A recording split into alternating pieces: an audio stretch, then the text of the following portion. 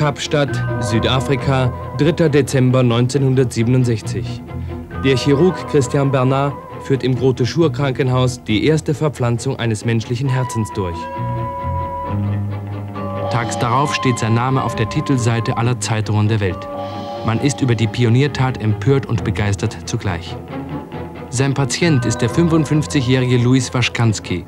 Das eingepflanzte Herz stammt von einer 25-jährigen Frau, die bei einem Verkehrsunfall ums Leben gekommen ist. Zusammen mit dem Ruhm, der dem bislang unbekannten Barnard für diese Pioniertat zuteil wird, tauchen aber auch moralische Bedenken und Kritik auf. Wann ist ein Mensch wirklich tot? Greift man nicht mit einer solchen Operation auch in die Psyche des Menschen ein? 18 Tage später stirbt Waschkanski. Die Todesursache ist eine Lungenentzündung, erklärt Barnard unbeirrt. Es handelt sich nicht um eine Abstoßungsreaktion. Der Eingriff ist gelungen. Am 2. Jänner 1968 operiert Barnard neuerlich. Diesmal ist der Mann mit dem fremden Herzen Philipp Bleiberg, ein 58-jähriger Zahnarzt aus Kapstadt. Der Spender ein 24-jähriger, der erst 17 Minuten vor der Transplantation gestorben ist. Es treten keine Komplikationen auf, Bleiberg, an sich zum Sterben verurteilt, kann noch über ein Jahr weiterleben. Dr. Barnard und seine Methode haben sich durchgesetzt. Der Chirurg ist zum Zeitpunkt seines Triumphes 45 Jahre alt. 1922 in Beaufort West in Südafrika geboren, wächst er als einer der vier Söhne eines Priesters auf. Adam Barnard gehört der reformierten holländischen Kirche an. Die Seelsorgertätigkeit ermöglicht seiner Familie aber nur einen äußerst bescheidenen Lebensstil.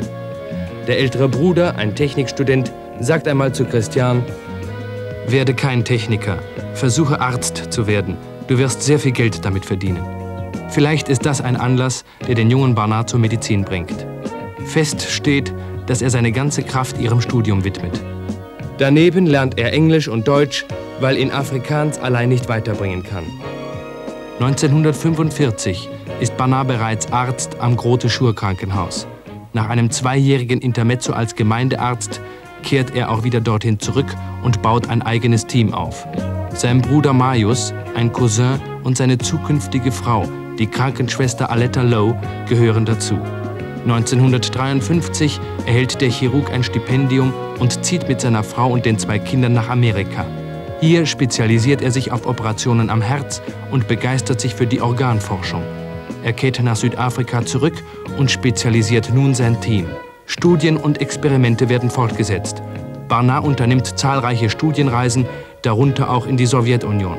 Schließlich wagt er den Schritt zur Herzverpflanzung. Die Jahre nach der geglückten Operation am Bleiberg zeigen Christian Barnard von einer anderen Seite. Er entdeckt zunehmend seine Liebe zum Leben in der High Society. 1970 lässt er sich scheiden und heiratet Barbara Zoller, eine 20-jährige Schönheit.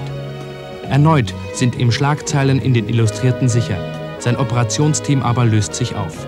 Zwei Jahre später geht Barnard sogar kurz in die Politik, beginnt daneben auch wieder intensiver zu arbeiten. Er verändert seine Operationsmethode. Anstatt eines totalen Austausches setzt er das Spenderherz neben das Kranke ein. Am 20. Juni 1977 setzt Professor Barnard einer jungen Italienerin das Herz eines Pavians ein. Es bleibt jedoch nach drei Stunden für immer stehen. Einige Monate später hat er mit der gleichen Operation an einem 60-jährigen Mann mehr Erfolg. Mittlerweile werden an zahlreichen Spitälern in der ganzen Welt Herztransplantationen durchgeführt. In manchen Fällen kann das Leben der Herzkranken dadurch um Jahre verlängert werden.